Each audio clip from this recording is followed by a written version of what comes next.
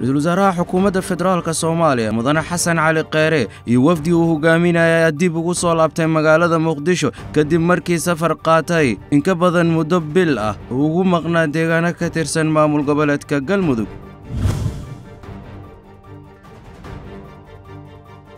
guddoomiyihii hore ee gobolka banaadir ahaana duqa magaalada muqdisho allah u naxariistay injineer cabdiraxmaan cumar cismaan yariiso ayaa waxaa saakay meydkiisa laga soo dejiyey garoonka aadan cadde ee magaalada muqdisho. Madaxda ugu sarraysay dowladda federaalka ayaa ka soo qaybgalay aaska loo sameeyey injineer yariiso waxaana ka mid ahaa madaxweynaha dowladda federaalka soomaaliya mudane maxamed cabdulaahi farmaajo iyo ra'iisul wasaaraha xukuumadda federaalka soomaaliya mudane xasan cali kheyre iyo madaxda labada aqal sare iyo madaxda maamulka goboleedyada dalka.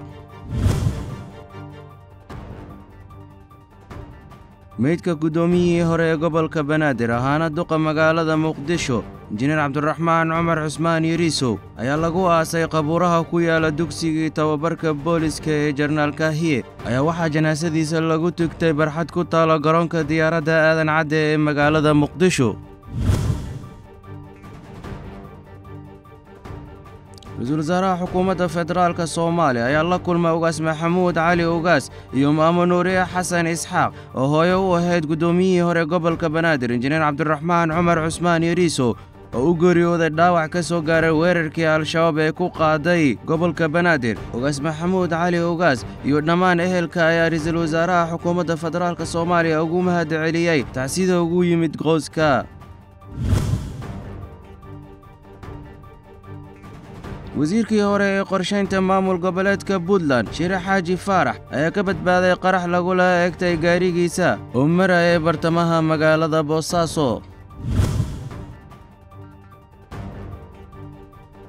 saraakiisha ammaanka ciidamada dowlad goboleedka koonfur galbeed soomaaliya ayaa sheegay in ay qabsadeen deegaano ka mid ah gobolka baay oo ay ku sugnaayeen al-shabaab. Taliyaha booliska maamulka koonfur galbeed mahad cabdiraxmaan aadan ayaa sheegay deegaano hoos taga magaalada baydhaba ay ciidamada dib u qabsadeen markii ay howlgal ka fuliyeen halkaasi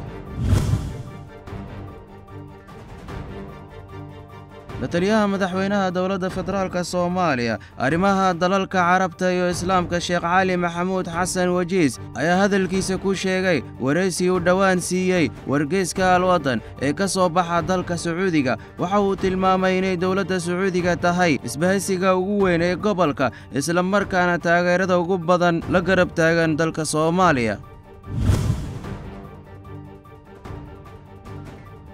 xeer-ilaaliyaha dowlad goboleedka puntland maxamuud xasan cismaan ayaa sheegay in dowlad goboleedka puntland ay ku xidhan yihiin siddeed iyo afartan maxaabiis oo ku eedeysan falalka burcadbadeednimada ah.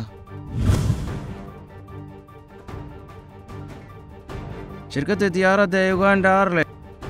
shirkadda u sheegtay in siddeed iyo labaatanka ogost ay bilaabi doonto duulimaadka kambala iyo muqdisho hogaamiyaasha maamulada soomaalida iyo oromada ee hoostega dowladda etoobiya ayaa maanta axaadda ah wuxuu shir ugu furmay magaalada jigjiga ee xarunta dowladda deegaanka soomaalida gudoomiyaha dib u heshiisiinta dowlad goboleedka galmudug ayaa ku dhawaaqay inuu dib u dhacay shirkii dib u heshiisiinta ee lagu waday inuu maalinta beri ka furmo magaalada dhuusamareeb ee caasimadda galmudug xubnaha guddiga ayaa ku dhawaaqay in shirka uu furmi doono toddobiyo tobanka bisha agost islamarkaa in shirka uu furmi doono ay xilligaasi ka hortegi doonaan magaalada dhuusamareeb dowladda kenya ayaa habeenno ka seexanin dadaal ay ugu jirto inay taageero caalami ah u hesho damaceeda ku waajahan biyaha soomaaliya. Warar ka imaanayo beriga dhexe ee sheegayo in ciidamada iiraan ay markab kale ku qabsadeen gacanka cammaan